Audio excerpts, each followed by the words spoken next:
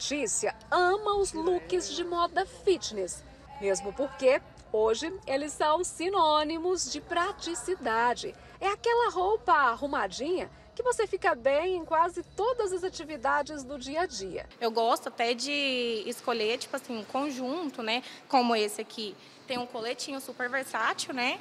Para usar no meu dia a dia, para ir levar minha filha na creche, para passear com ela, para ir no supermercado. Então, é uma roupa que não é só vista assim para ir para academia. E assim como ela, os clientes exigem cada vez mais qualidade e beleza. Eu gosto muito daquela roupa que dá uma certa compressão naquela pochete.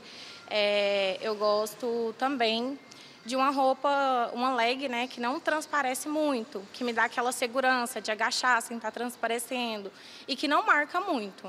A Joyce tem uma marca de moda fitness há cinco anos. Ela conta que essa loja grandona foi aberta depois da pandemia, quando aumentou a procura por looks confortáveis para usar em casa. E as pessoas se conscientizaram sobre a necessidade de se fazer uma atividade física. A pandemia trouxe muita conscientização das pessoas, né? De treinar o pulmão, de poder sair de casa. E também eu acho que pelas pessoas terem ficado muito tempo presas, elas queriam ver ar, queria respirar, né? Eu vou respirar, eu preciso ver isso. Então trouxe essa conscientização. Hoje tenho clientes que não vão para academia, mas faz uma caminhada no parque, vai no parquinho com os filhos. Cores vibrantes, tecidos que não acumulam suor ou até mesmo aqueles que protegem do sol. Tudo isso hoje já é muito comum na moda fitness, mas a Joyce trouxe outras novidades aqui. Uma delas em especial que me chamou muita atenção que é uma calça que tem o tecido que ajuda a combater a celulite, Joyce. Como é que é isso? É isso. Nós temos a tecnologia desenvolvida, né, para a nossa marca, que é tecnologia Kelp. Ela tem nanotecnologias que ela ajuda na compressão para ir tratando essa celulite, né?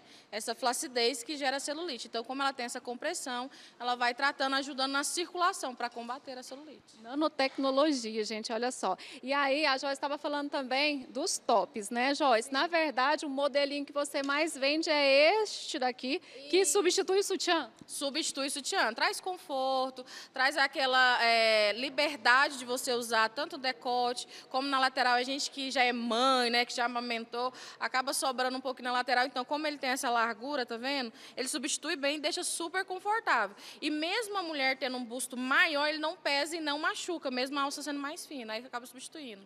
Aí, gente, é muita coisa, né? Ela estava falando aqui também que tem a moda para os homens também evoluiu bastante. Essa daqui tem uma tecnologia, né, que é essa parte aqui de dentro, que não precisa depilar as pernas, não tem atrito. Isso, porque como ela tem essa cueca embaixo, né, que a gente fala que é o short duplo, ela não, ele não precisa ficar depilando, porque fica roçando na hora que vai fazer exercício de impacto, no crossfit ou jogar futebol. Então ele não precisa fazer isso. Ele usa ela, não precisa usar a cueca por baixo, já vem com a cueca pronta e facilita no dia a dia. E para a gente finalizar, é, pessoal aí que gosta de aproveitar o look para várias situações.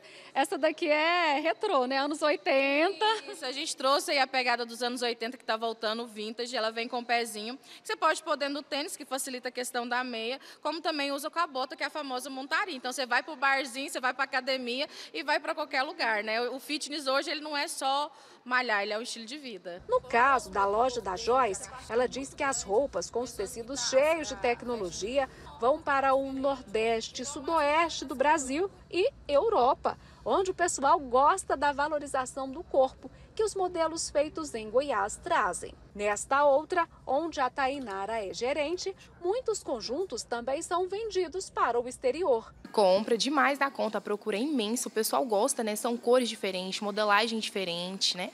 Aqui, as cores vibrantes, os tecidos seguem sempre a tendência pedida pelos clientes. A gente busca lá fora em desfiles o que está usando e a gente pega também como base de dados o que os nossos clientes vão mandando ali no direct, que eles interagem muito com a gente. Então a gente pega essas informações, filtra e traz essa, essa mistura de cores.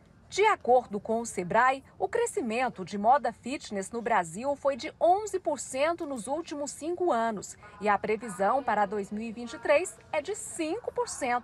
Projeção que retrata o quanto o mercado está em alta. Principalmente a busca pela saúde, bem-estar, autoestima e também pela variedade de hoje de opções de práticas esportivas que nós temos. Né?